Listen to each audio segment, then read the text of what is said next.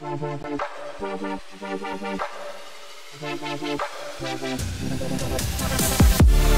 suis Tom Meyer, chef de Granit, Paris 1er.